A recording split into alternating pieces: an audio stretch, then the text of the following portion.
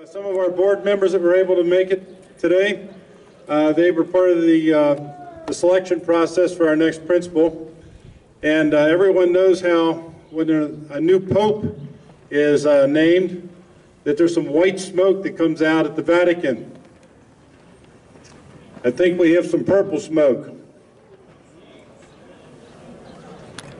We're supposed to have some purple smoke here. Maybe? All right.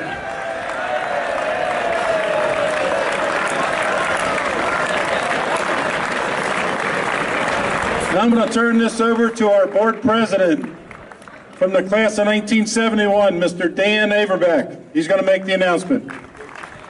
Thank you, Mr. Otten.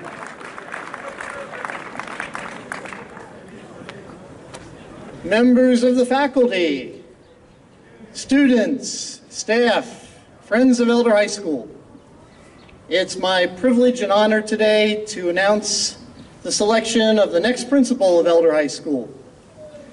Uh, We were not in a position, would have not been in a in a position to make this announcement today were it not for some very dedicated work of a number of individuals, particularly Mr. Nick Hahn. Nick is the vice chair of the board and chair of the selection committee. There were many others involved, including Mr. Mike Schlomer, who is the faculty representative to the board and also served on that selection committee.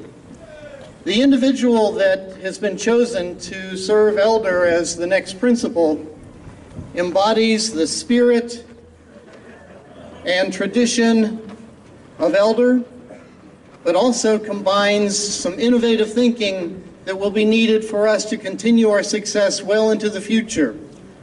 The screening process employed by the selection committee assures us that the chosen individual will be one that continues our success and is the best of the best for this position. Ladies and gentlemen, please join me in honoring and welcoming the next principal of Elder High School, Mr. Kurt Ruffing.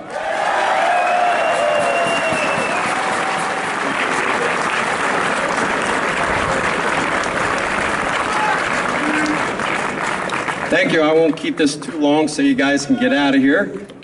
Um, First, I want to thank a few people. Uh, First of all, the Archbishop. As you know, he owns the school, so he had the final say.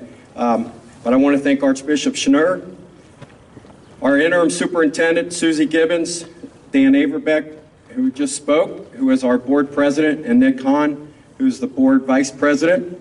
Um, I also want to thank Tom Otten, our current principal.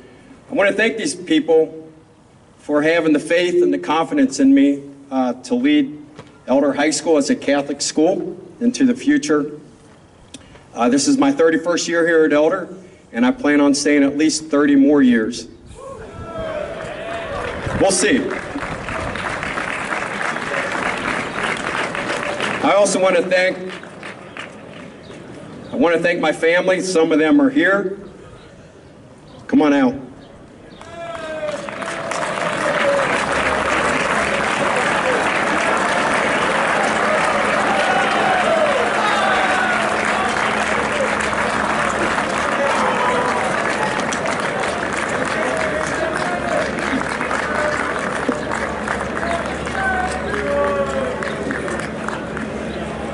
This is my wife, my son Ryan, who graduated in 2010, one of our daughters, Nicole, who graduated from Seton in 2014.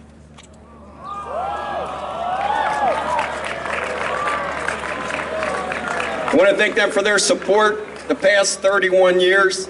Um, you know, in addition to teaching and being assistant principal, I've coached baseball, coached wrestling, and it's a lot of time away from the home. So I want to thank them for their support and their continued support. And last but not least, I want to thank the faculty, the staff, and all of you guys, the students.